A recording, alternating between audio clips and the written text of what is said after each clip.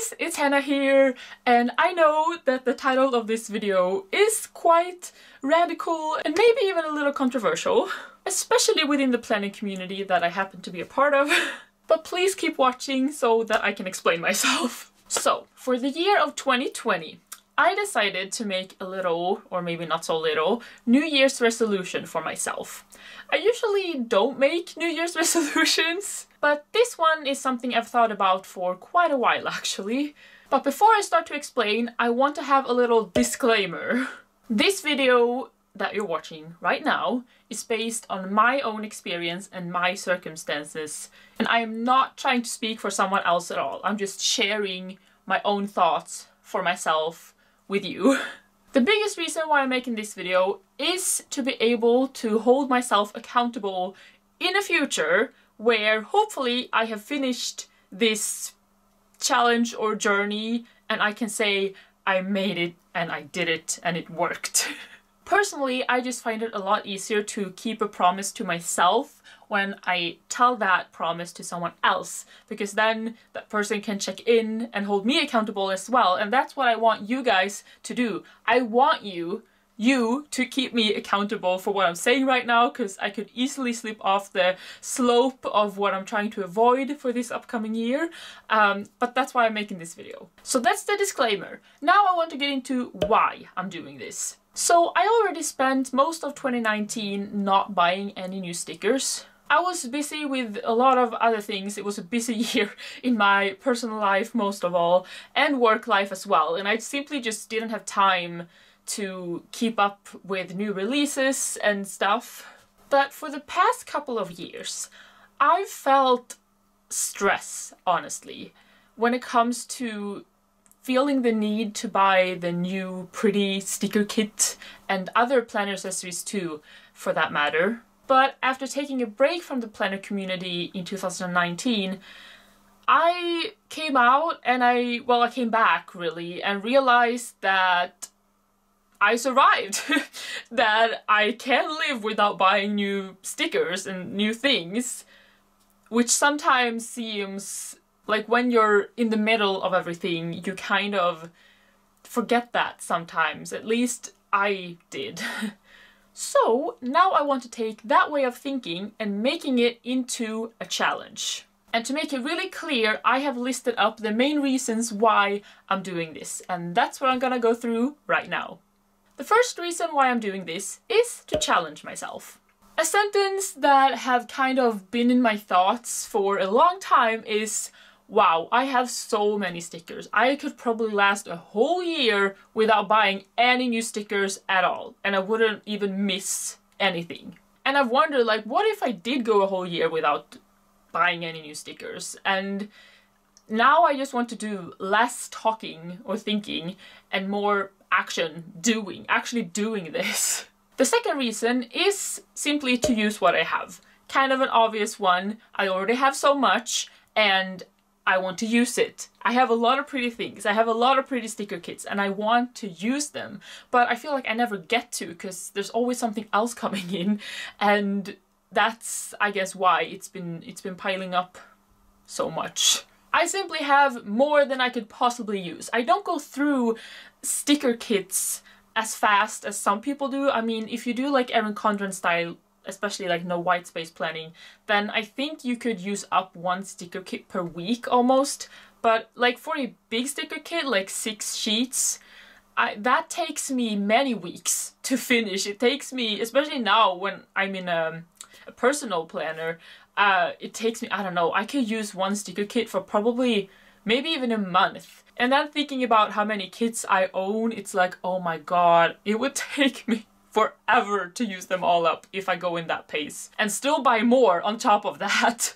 like for example, I already have probably like, I think three unused Valentine's kits, several Easter kits, and uh, like summer and Christmas and other like themed kits. I have multiples of that and I only need one per year. Not even one. I have leftovers from previous years too. So it's like what am I gonna do about all this? I just have to use it. And I guess uh, a 2.1, a little add-on reason onto the use what I have. I've been really bad at using what I have because I've had this like I don't know, I want to use it, but I also don't because it's also pretty and once it's used, it's used mentality. And that mentality is not good, especially when you buy stuff that's meant to be used. So I need to kind of stop that and in 2019, I actually got really good at that. I just started using what I had, what I wanted to use. Don't wait for it. Do it now. You live now. Like you, you know, like I've had a wrong mentality about this whole thing and I need to change that. Um, so that's also why like use what you have, not just what you have, but actually like focus on an underlying use. use it. The third reason why I'm doing this is economy. Now, I don't want to get too personal, but stickers can cost a lot of money if you buy a lot of them. I think everybody knows this and can agree with me on this. No matter what type of economy you have personally, stickers can cost a lot. And for myself, I am currently a student. I'm in Bible school for one more semester. But after that, I'm actually quite unsure of what my economical status will be. So I just kind of need to be smart about money specifically. The fourth reason why I am doing this is to reduce stress. I mentioned it a little bit already. Having this many things stresses me out sometimes. And this past weekend, I went through a lot of old like subscription boxes and kits. A lot of my sticker kits come from subscriptions. Like I've had the Happie Scrappie uh, subscription kit for a couple years, and then I subscribed to the sticker kit specifically, not just a planner kit. So I got like really like like one kit per month. I'm also subscribed to the Simply Gilded box, which also comes with a small kit. And I used to be subscribed to the Little Bits box before it was cancelled, and that was also like a sticker kit that month. So for a while, I got three sticker kits new per month, and I still bought more on top of that, from favorite shops like Hello Petite Paper or Lovely Rose Prints, which are some of my favorites. They make gorgeous stickers. I mean, they're so pretty, but I was never able to use it because I always had something new coming in and I just could never use it in the pace that I needed in the pace that they were coming in. That's been a problem. And I've gotten really stressed out about that as well. So I'm hoping to just stop, like make a shop stop on stickers that that's gonna reduce some stress and I can feel like okay it's not coming in lots of kits I can look over see what I have and shop my stash that's gonna be a really fun experience actually and the fifth and final reason that I'm doing this, it's quite a big reason and something I need to learn and practice more. Gratitude. It's something I try to practice every day. Um, think about what I'm grateful for today and like you can have this like every morning when you wake up, what are you grateful for? Or when you go to bed, what happened today? What am I grateful for today?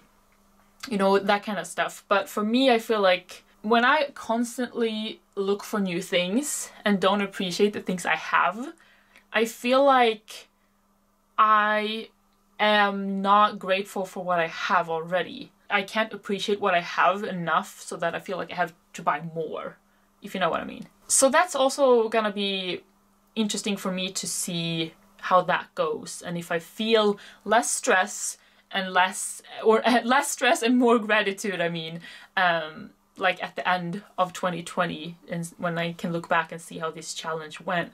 It shouldn't really be a challenge because I, I, I won't be without stickers, I just won't be buying more. The challenge with will be for me not to like impulse buy a super pretty sticker kit from Hello Petite Paper, for example, because I love her style and her kit. I also want to support her. Like, there's so many sticker shops, they're so kind, nice people. So, those were the five biggest reasons why I won't be buying stickers this upcoming year and I know a, a, whole year it's a long time. Sometimes I wonder do I know what I've gotten myself into but when I went through my sticker stash this past weekend um, I was just and that was just like half of what I have and I just oh my goodness this year is gonna be very good for me I hope. But there are gonna be some exceptions. I won't be buying new kits purposefully but I won't subscribe to the current subscriptions I'm subscribed to just because they happen to include some stickers. Like Simply Gilded, I love the Simply Gilded box. It brings me joy every single month and it's so nice quality and pretty things and I won't unsubscribe to that just because it happens to come with a little sticker kit because I am mostly subscribed to it because of the other accessories that it comes with. However, I used to be subscribed to the Happie Scrappie sticker kit apart from the planner kit. I have unsubscribed from the sticker kit, but I am and will most likely still be subscribed to the planner kit once again because I want it mostly for like the papers and other items as well, but it does come with some stickers every month. But like I said, I unsubscribed from the sticker kit specifically. Um, I mainly want the other planner items that the kits come with. So that's the exception I have. My goal really is to not buy any new stickers apart from these subscriptions and to use the kits I have.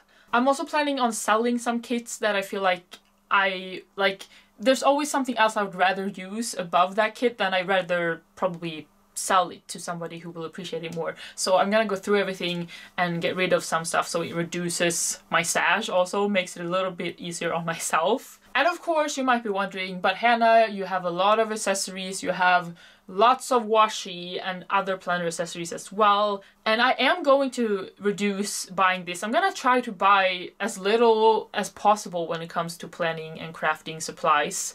But I don't want to be too hard on myself. I want to start with one goal, one challenge, and this year I'm choosing stickers. I just, I'm afraid if I get too strict on myself, I might get overwhelmed and then just fail all completely because it gets too hard, if you know what I mean. Um, but like I said, I'm gonna start here, see how it goes. I might add on more restrictions later. I am coming back to the love of planning. I think it's really fun. And I also think it's gonna be even more fun when I actually get to know what I have, and so I like I can remember what kits I own and not just there's so much and there's new things coming in all the time so I just I don't even know what I have. That's I think what causes the stress because I like to be in control and I haven't been in control when it comes to this. So yeah to conclude this video I'm not gonna stop using stickers I'm just gonna stop buying them. So pretty kits like these um, are gonna be used and I am gonna try my best uh, to not get tempted and buy more. And I'm gonna try to make more plan with me so I can update you on my process as well. That would be really fun. And also make sure to follow me on Instagram because I post pictures there of things that I might not show on YouTube because I don't always have time to make a whole video. So I post a picture instead. So make sure to follow me on there. But yeah, that's really it. That's everything I came to say in this video. I hope I wasn't too all over the place and that it made sense to you. It doesn't really matter because I'm making this for myself so I can look myself in the eye when I'm watching this video in the future and be able to say, I did it, I made it, I succeeded. So yes, I'm excited and, and I am feeling challenged. But that's it. Now, thank you so much for watching. I hope to see you next time. Bye for now.